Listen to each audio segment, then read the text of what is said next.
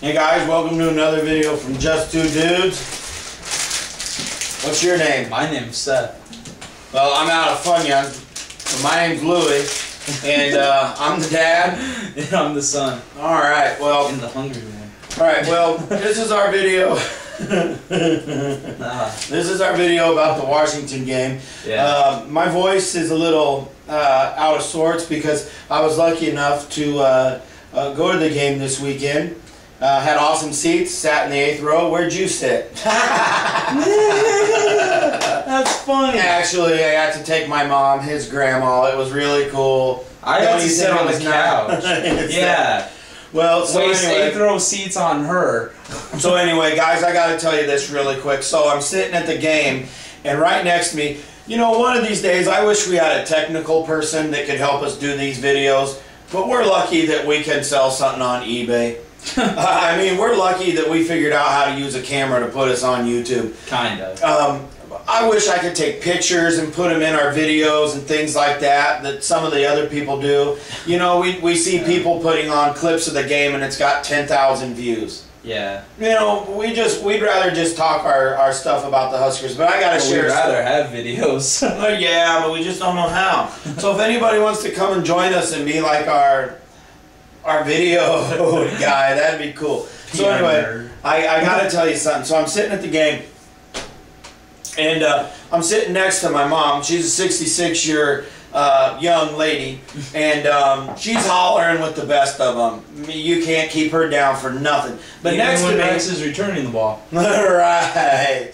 She doesn't always know what's going on. Okay, so sitting next to me is this gal who's in her 80s and she's got white hair and she's wearing earmuffs mhm. so she doesn't have to hear the crowd. That sucks. Right next to her is her granddaughter and her granddaughter's two kids, okay? Sitting in front of me to the left is a lady who brought three girls, probably about anywhere from 10 to 11 years old. Between those eight people, the only cheering you ever heard is when we'd score a touchdown, they'd go like this.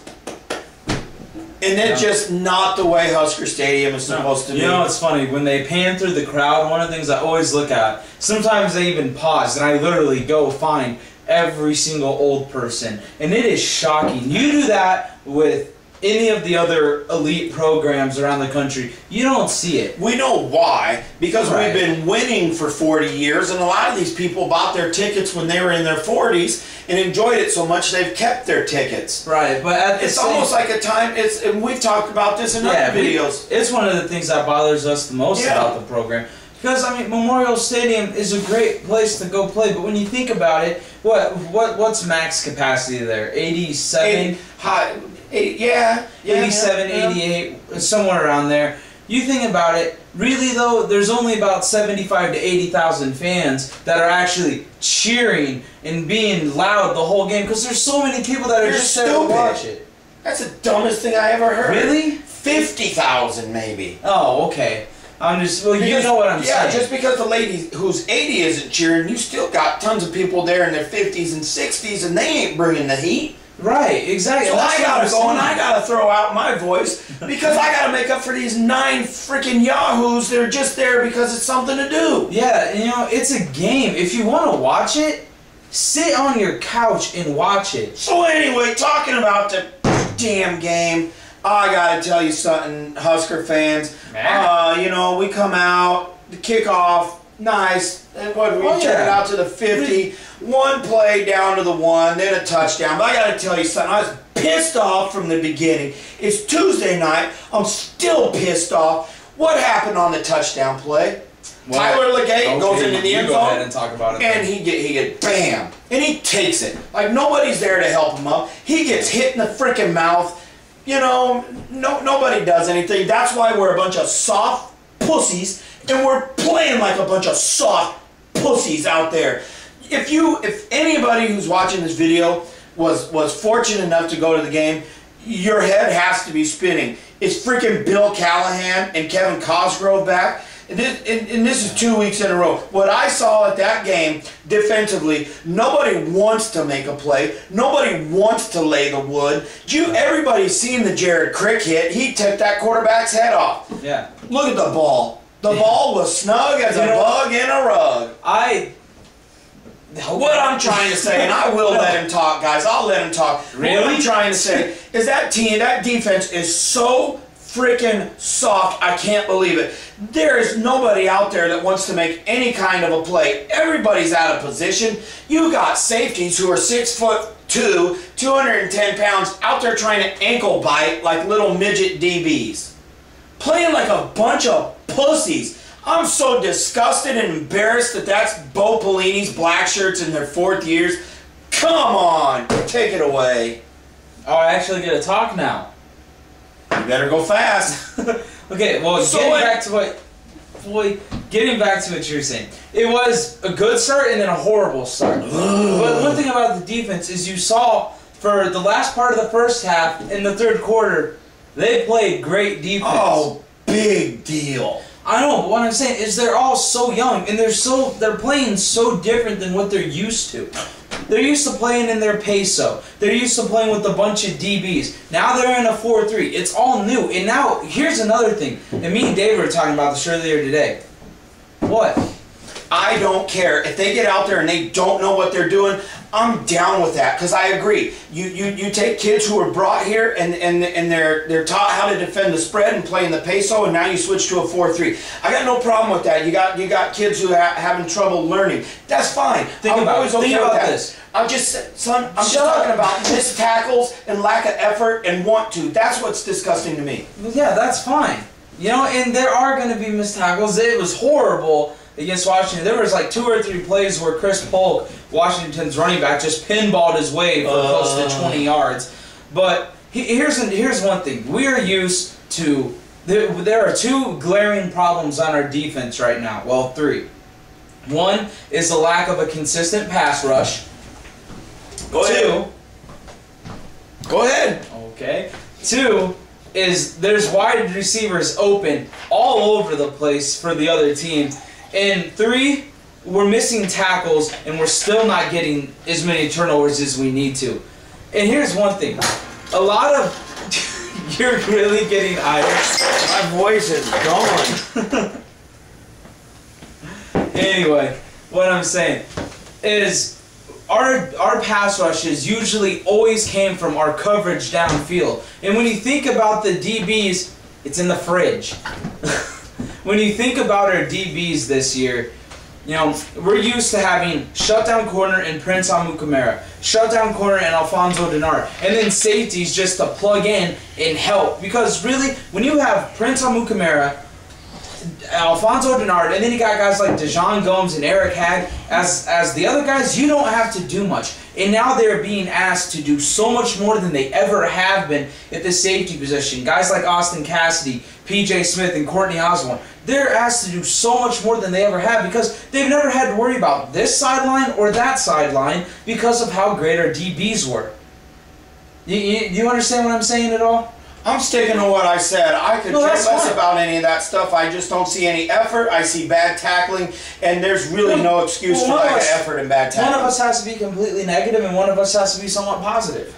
no, you can be positive, and we can agree All, that all I'm, all I'm saying is, I think when we get Dennard back, because you know I, I don't see Ciante he ain't coming back. I don't see. I mean, he ain't coming back. He practiced today. So, he, so he went from having a pulled hamstring to now a torn quadricep. Uh, he has, he's got a tear in his quadricep. He's perfectly fine right now. Oh, dude, I don't buy it. You get a tear in your quad. So, so you, you think he's never coming back ever? He's never playing I think. I think he's going to play one one half, get hurt, set out three weeks, and might play late in the year. That's just the way this year's going. Well, okay, then I'll rephrase it so it so it. No, it's my opinion. I think if Al, if Alfonso comes back and stays healthy, I'm ready to suit up and hit people. All I'm saying is when he comes back, I think the defense really can get that much better just with him being back. Because really, the oh, biggest problem. A shutdown corner is worth his weight in gold, Right. palladium, and silver. and we had two, two or three Yes, of them the last couple years. yes. So what I'm saying is the defense is learning how to play by themselves. No one's arguing that. well, no, I'm just, I'm just that. saying. You're expressing what you feel about the Right, and I think Okay. when Alfonso gets back and you have that shutdown corner, it'll allow So more you're gonna say pass all of a sudden when one guy comes back, you're gonna see effort and better tackling, and you're gonna see a want to and a desire. a guy like him can I'm not gonna say it's completely changing, but he can be a great, huge improvement. Well, shut. We both agree on shutdown corners. Right, but here here's the thing I'm saying though, is Deontay Evans, I wanna give him you know, the pass defense has been bad, but I don't see him ever getting burned bad. It's always Andrew Green. Always. Whenever there's a big play in the pass game, there, there, there's number eleven right And behind him. and if you guys weren't at the game, what you got to see on TV was one thing, but he literally was. After a while, you started paying attention to him, and he It's literally not to. was beat every single. And what I'm saying is once we have Ciante and Alfonso, you don't got to worry about this side of the field, and you get your safeties doing everything, it'll be more like our defense. And I think that's one of the big reasons why the coaches are saying they're not worried right now. Um, let them not be worried. I'll worry for him. Taylor right. Martinez. Yeah, let's let's get Uh, let's get to the actual stuff here. Uh, let's see. Taylor Martinez still threw a ball right to somebody for the third game in a row. Luckily, think he's always gonna a do catch. Uh, he had one bad pitch. Uh, Taylor Martinez, I got no problem with for once because you know what? Washington is a BCS school. Yeah. And they're not at the bottom of the Pac-10, but Taylor Taylor Martinez led the offense to 51 points. Right. It's not your. It's not his fault that you score 51 points And your the game is, and, and your and the game isn't out of reach. All right, Taylor Martinez had this game 44 to 17. As asking your quarterback and your Yeah. offense, what more do you want? Okay, yeah. And he, here's here's let's go back to the defense. I think that want to and desire. Here's something that a lot of people aren't, or I think maybe a lot of people are forgetting. The defense has always had to carry the team. They've had to do everything because the offenses have been that bad. And now the offense can put up points so far. They're putting up points, and it's like maybe the defense is relaxing, like they feel like they don't have to do it. But here's the thing we're one hit. We're one hit to Taylor's legs being away from a horrible offense again, in my opinion. Right. So the defense has to get it back. But I think maybe that's another reason All why. bullshit. Because there's no way Bo Pelini would ever allow that to happen. And if he does allow that to happen, then he's not the coach anybody thinks he is.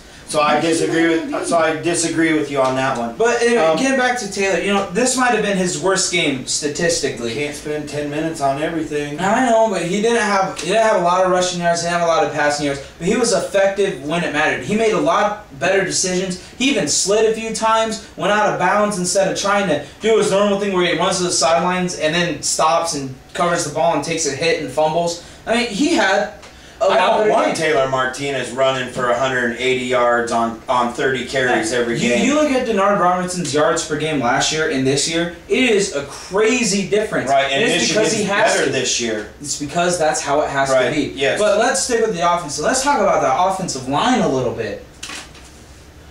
Fine, if you want to find something positive about the game, go ahead. The O line racked up 300 rushing yards. I think it was Rex. You think it was Rex himself? Mm-hmm. Why? Because I think Rex um, said no more of this stuff, and I'll kick the shit out of all you fat boys if you don't get it in line. No, all kidding aside, uh, O line, yeah, yeah, there was holes. There were actually holes, and yeah, like I've yeah. said, people are kind of, at least people I know, are somewhat dissing Rex a little. You give him an actual hole, not you, calm down. You give him an actual No. hole and see what he can do, and you saw that. He can Yeah, lead. totally. He can lead this whole Yeah. offense if he wanted And the to. thing about oh, the thing about offensive line play is, you know, most of the time to create a hole, you got to have one whole side of the offensive line working in unison, and then you have to have the offside. You know, they still got to follow out stuff, and they got to clean And up they- the, the back. and they gotta gotta up the clean up the cutback, too. Right. Yeah. So you know, when the offensive line is opening up holes, and we're getting we're getting And I- I tell you rushing what. yards, they're doing their job. I tell you, and one person I almost watched all game, especially when I rewatched the game, is Choi, the the left guard that was walk on and actually started because Rodriguez is injured. I think he just won that job because Rodriguez has been in there twice this year, and the O line hasn't had a cohesive set against Right. very inferior talent. And then you plug one guy. One guy can do that. Uh, Yoshi Hardrick said the other day that that's the funnest game he's ever had playing here because he was playing next to him. By the way, I'm not drunk. By the way, I'm just incredibly animated. Guess who? I almost think I could do a better job of. Other, although I can't bend over for that long. What? Mike Caputo. Mike Caputo had a really good game. For for once, Mike Caputo actually the number 74 who he was up against, he somewhat neutralized him. Yeah. But I I swear to you, Mike Caputo is the weak link of the whole damn deal. Mm. See, I don't, I don't. He can't ever take his man and get any kind of a push or any kind. And I know most of the time a center is is not supposed to drive the nose tackle back. That's, you know, a center is But he can't to ever go help. He can't. He can't take his guard on the left or the right and go after a guy and then chip and go get somebody. He. he- I mean, I just. I don't. I don't. I just think we he's don't a know the scheme, overrated. but you know, if, if that's your opinion, that's fine. But I think um, you I think said it's Troy actually- stood out to you. Troy, I mean, he really stood out to me. He was one of the few people. I will say, Tyler Moore is a very Tyler Moore is. He is a stud. He's a, he's that nasty. You know, Bo, Bo made a comment that he could potentially be an All American later on in his career. I believe it. I mean, you're looking at a guy who could potentially be a first round pick in the NFL. He's nasty. Yeah. He he doesn't he like wants to take the fight to the other team. He doesn't want to wait. He wants to take it to him. Right. And hopefully, best case scenario, since he's a tackle, it'll work its way down the rest of the line. Yeah. You know? And I, I do want to say something. I've kind of ripped the kid before, uh, but Ben Cotton at the tight end position is blocking his. his and how his many times have I told you that whenever you've talked bad about him? He's he's something else. Um, ben Cotton does have a chance, as far as I'm concerned, to play in the NFL Yes. as a blocking tight end Yeah. because he he's And he's not a bad receiving tight end. That's No. thing. He's not a bad receiving just tight end. Kyler Reed. Yeah, it's kind of like you know, it's it's just what's he gonna do? Okay, we, we better get moving here. Rex, uh, beautiful to see Right. Rex with over 20 carries. Yes. Rex is just a man. He is good. You know, one of the things that Could you impresses throw him me. a pass? Could you throw him a wheel route? Could you set him up a screen?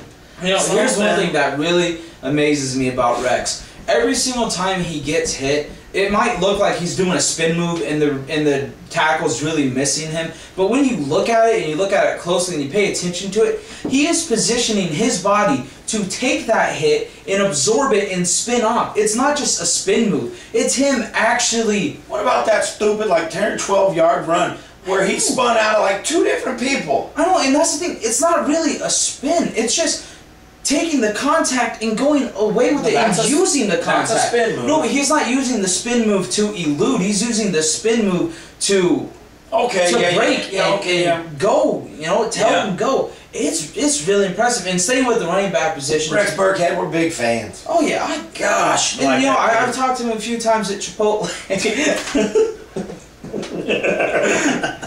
And For those of you who don't know, we probably go to Chipotle and eat there probably three, four times a week. But anyway, I've seen Rex in there plenty of times. I've talked to him a couple times. Super cool dude too, by the way. Um, but Aaron Green and Braylon Heard had a really good game from the running back spot. They each had over six yards per carry, and Aaron Green even did some things. He ended up getting two touchdowns Right. and one on a big pass play in a key moment in the game. Ameer Abdullah is a stud. Yeah. He is a threat to return every kickoff, every punt. The He kid has just that jump cut. Yeah. That is so unreal. right. Uh, yeah, I wish we could show him what you mean, but Yeah, I mean, why he- don't you show him? Why don't you get up and show him? Oh, look. No, uh, you're, you're right. I, and you just pointed that out to me on, on most of his good returns. It's the just- same move Yeah, every time. It, it just you know you can do the same move every time if it works like that. yeah. Um, I mean, he had two returns kinda- over over forty yards. What's right, up? right, right. Those three do look like they're going to give us. Yes, a very good stable. Yeah, for for. And, and give Ron Brown credit his first year there because all the running backs are making a huge impact when they have their chance. yes. Yeah, No I mean, disagreement there. Mm. Um, Yeah. decent game from wide receiver position. When I say decent, Yeah. I, I mean decent. Nothing, nothing more than, but you know, for Of Nebraska course. wide receivers, you know, we had that one incredible year. Nate Swift and Todd Oh. Peterson were here, Nate just did spectacular Yes. things. Um, Yes. But outside of that, our wide receivers usually just so-so, and I, I think these kids were just kind of so-so this week. Um, Right, but they they will de- develop, and they the sky's the limit for who I'm who I'm talking about right now is Quincy Enunwa, uh, Kenny Bell, and Jamal Turner. Oh, I Those got three. Kenny Bell's afro. That's almost worth admission. That's something. Go ahead. And I'm just saying, those three. I mean, they're going to be here. Quincy will be here for another two years, three. I don't know. I'm not good with that.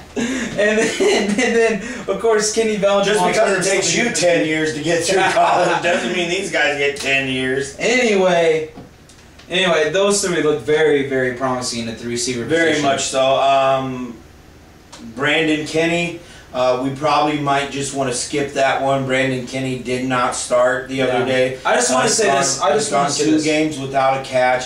He's got several drops, and um, I just want to say, you know, Brandon Kinnie. best of luck, buddy. Exactly. I don't wish him any harm. I mean, it's not like I No. dislike him. Niles Paul. That's that's one thing. I really never liked Niles Paul. But I mean, Brandon Kinnie. I hope he gets it together because I I would like to see him finish out his senior year with a good year. Okay, so offensively, we'll wrap the offense up. Um, Very the solid. three the three kids look great. Yes. Ameer looks good. Yes.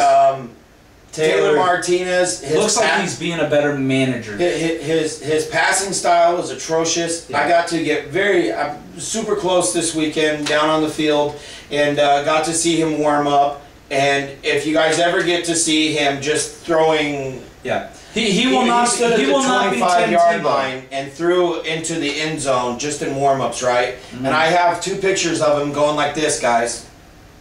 Yeah.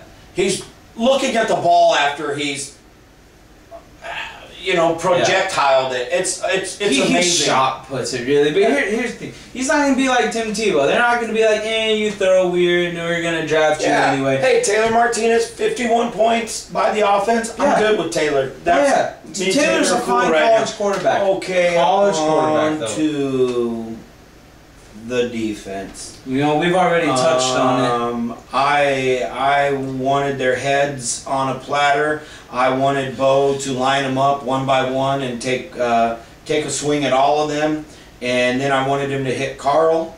Um, I yeah. was- By the way, you know, Carl's calling the plays, and I'm sure Bo takes over at some point. But you know, Carl doesn't need to be calling plays anymore. If he if he really is the one calling the majority of the plays, you, you, you need to fix that. I mean, I know Bo wants to be more of a of a head coach and be more balanced with the team and help with the offense a little bit. But I mean, Bo, you, you're a defensive coach. I mean, you gotta start.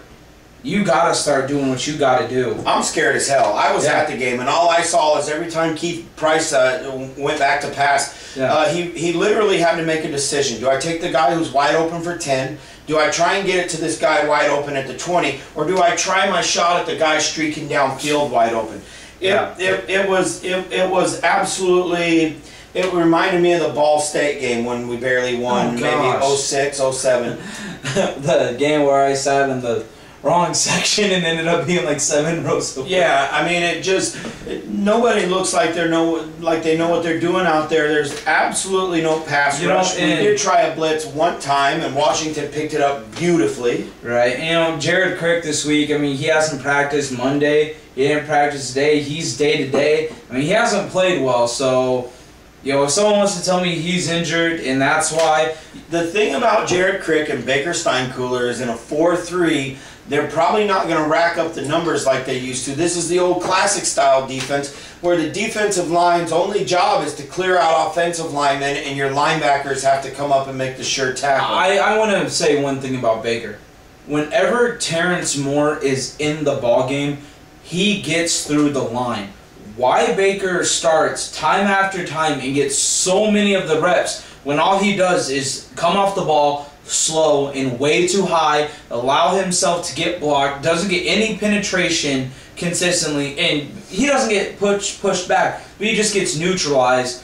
I mean, you know, every single time Terrence Moore is in the game, if you watch it, he's in the backfield Right. a lot. So why why is no, Baker no argument starting there, dude. And, and, and, and you know, part of, I've heard a lot of people say, well, now that Marvin Sanders is gone, the DBs aren't playing as well. They're playing off their guys, and and they're not coming up in the tight press coverage and things like that. I think the problem with that is, is it's not Prince and Alfonso. It's not your stronger juniors and seniors that can get up there after three and four years of lifting weights. We got Well, even even. Alfonso even Alfonso said at the beginning of fall camp that the way Mhm. the way the corners So- are being taught to play right now to cover guys is different and harder for him than it was last year. Right. So people want to people want to blame it on Corey Raymond. Well, hey, let's face it. That's nothing to do with Corey Raymond because he's not going to go out there and coach and change anything without Boss Man Yeah. okaying it. Yeah, he's not gonna show up and say he's not gonna show up. First off, he wouldn't even have been hired, but he's not gonna show up. To He's the just first day of carrying out the boss's orders. He- That's right, and that's it's not Corey decision. Raymond's fault. But I tell Yeah. you what, people who didn't think Marvin Sanders was gonna be missed oh, as Oh, I much. think we all did. I mean, you Yeah. know, he, when he, when he was here before They with Bo, for him always. when he was here before with Bo, great DBs. When he's been here the last few years, we all know what's happened. Know, And like half of his DBs from last year got drafted. all three of them did.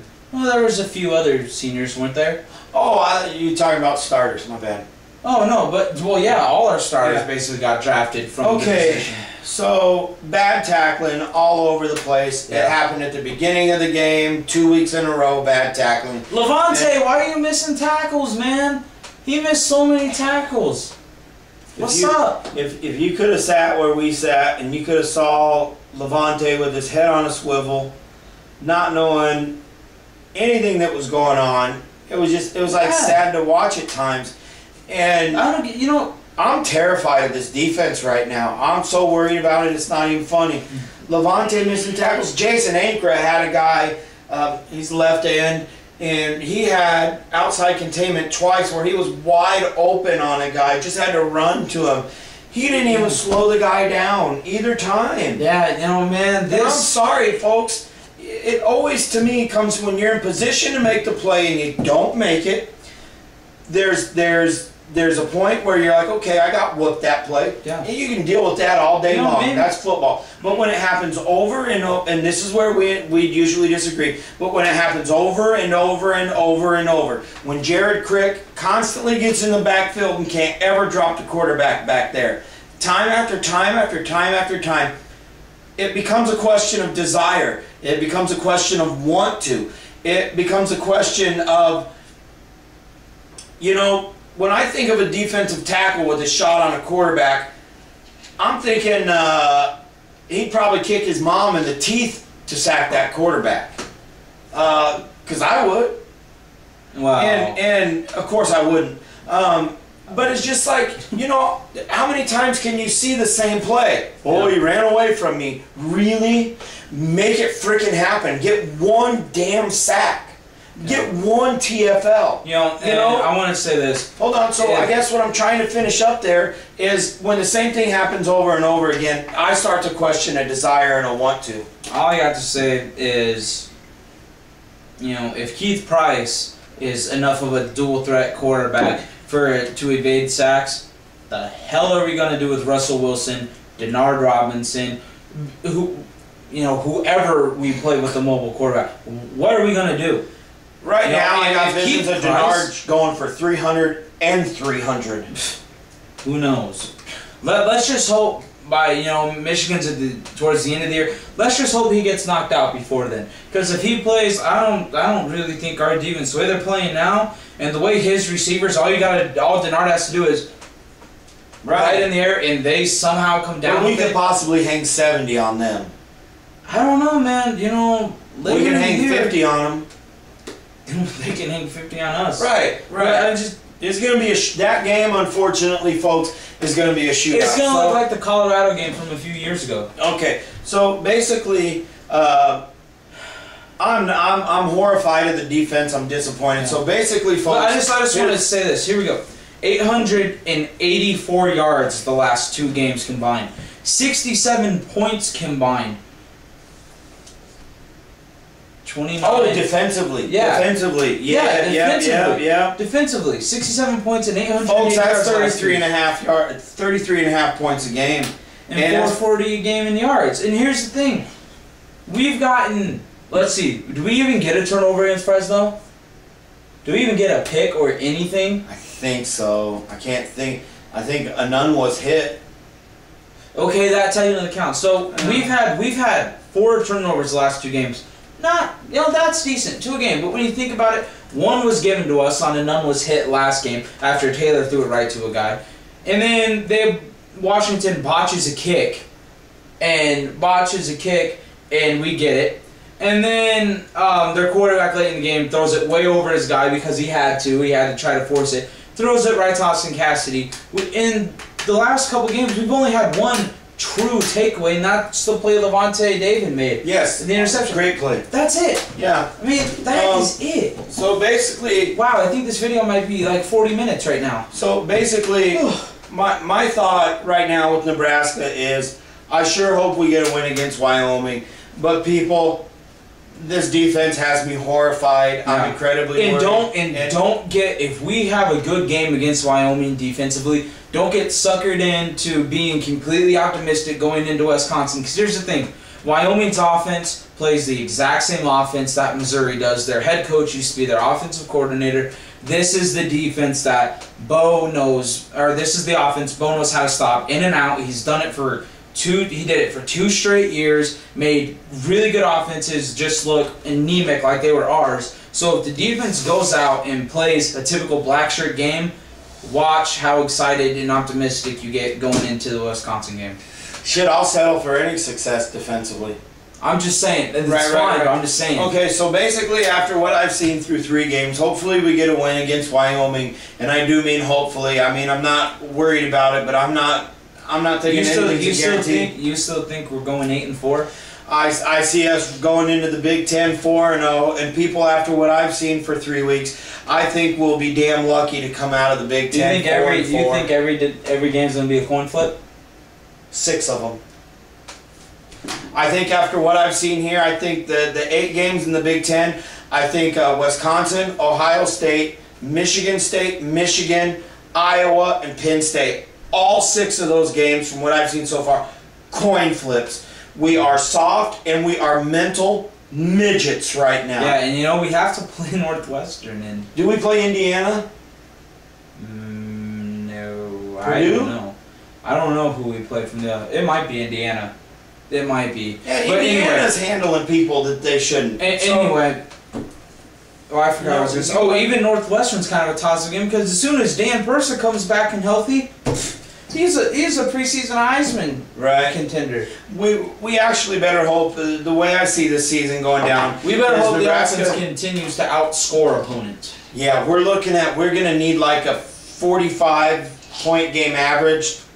Uh, to go eight and four. You know, if and we I can know- somehow get a fifty point average going, we might be nine and three. I know that Bo has that the philosophy where quarterbacks are allowed to get hit. They have to be just as tough as the rest of the people with the way they run the ball. But Taylor might be worth putting a green jersey on, Bo, because as soon as he goes Oh, down. I mean, Brion Carnes looked good in the spring, but when he first when he got his first playing time this year, did not look good. Right. I mean, did not look like he did in the spring game. We better. yeah, we better stop. Yeah.